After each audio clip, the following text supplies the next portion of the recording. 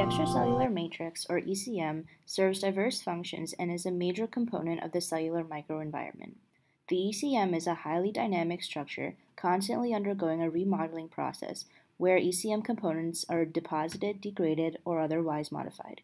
ECM remodeling is an important mechanism whereby cell differentiation can be regulated, including processes such as the establishment and maintenance of stem cell niches, branching morphogenesis, angiogenesis, bone remodeling, and wound repair. In contrast, abnormal ECM dynamics lead to deregulated cell proliferation and invasion, failure of cell death, and loss of cell differentiation, resulting in congenital defects and pathological processes, including tissue fibrosis and cancer. Matrix degradation in humans is primarily a result of an enzyme family called matrix metalloproteinases, or MMPs, which catalyze cleavage of proteoglycans and collagen, among others. The minimal consensus domain architecture of MMPs comprises a signal peptide, a 60 to 90 residue globular prodomain with a conserved sequence motif, including a cysteine engaged and cysteine switched, and a catalytic domain.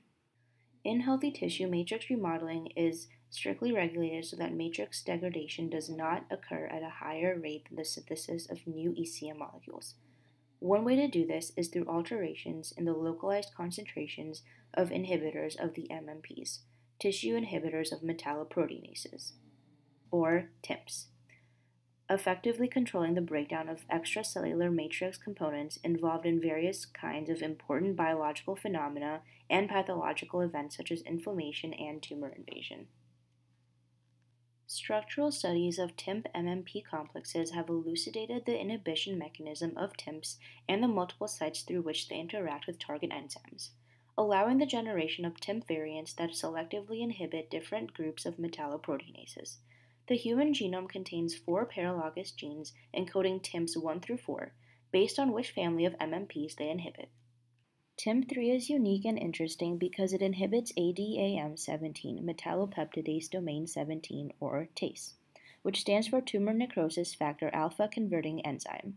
This enzyme is thought to be involved in the processing of tumor necrosis factor alpha, or TNF at the surface of the cell and from which the intracellular membranes of the trans-Golgi network. ADAM17 is understood to play a role in the release of a plethora of membrane anchored cytokines, cell adhesion molecules, receptors, ligands, and enzymes. Shown here is a downregulated ADAM17 molecule since its enzymatic activity is poorly understood. This structure, acquired by researchers using X-ray diffraction techniques, depicts the TACE-N TIMP3 complex. The N represents the N-terminal domain of TIMP3. There is another 3D structure of the TIMP3 domain inhibiting the TACE molecule. This is the N-terminal domain of the TIMP3, and this is the TACE molecule that the TIMP3 is inhibiting. This structure shows that TIMP3 exhibits a fold that interacts through its functional binding domain edge consisting of the N-terminal segment and other loops with the active cleft site of TACE in a manner similar that of MMPs. The PHE34 phenyl side chain situated at the tip of the SASB loop of the TIMP3 shown right here extends into a unique hydrophobic groove of the TACE surface.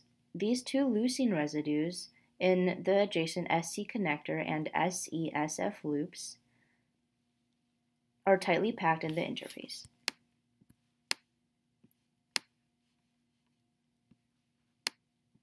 These loops are, are simply hairpin loops which facilitate favorable interactions and the flexibility of TIMP3. These characteristics make TIMP3 an efficient inhibitor. We can also see the alpha helices and the beta strands in this structure. For example, this is an alpha helice, this is an alpha helice, and this one is an alpha, alpha helice. Um, in addition, the SASB loop right here is a beta strand, and the SESF connector is a beta strand. Macular dystrophy is a relatively rare genetic eye condition and is an important cause of incurable blindness. The molecular defects may clue in on more common diseases such as age related macular degeneration. Sorsby's fundus dystrophy is an autosomal dominant macular dystrophy in which the TIMP3 gene has been mutated. Clinically, early mid-peripheral drusen and color vision deficits are found in patients with SFD. Some patients complain of night blindness. However, most commonly, the preceding symptom is sudden acuity loss, which manifests at around the age of 30 to 40. This is due to untreatable submacular neovascularization. Histologically, accumulation of confluent lipid containing material occurs, resulting in an elevated 30 micrometers thick at the level of the Bruch's membrane. This elevated drusen and the increase in the Bruch's membrane thickness is caused because the ECM has been degraded uncontrollably since the mutated TIMP3 is non functional. Engineering such variants is complicated because TIMPs can undergo changes in molecular dynamics induced by their interactions with proteases. TIMPs also have biological activities that are independent of metalloproteinases. These include effects on cell growth and differentiation, cell migration, anti-angiogenesis, anti-M pro-apoptosis, and synaptic plasticity. Understanding the mechanisms of ECM remodeling and its regulation, therefore, is essential for developing new therapeutic interventions for diseases and novel strategies for tissue engineering and regenerative medicine. However, most commonly, the preceding symptom is sudden acuity.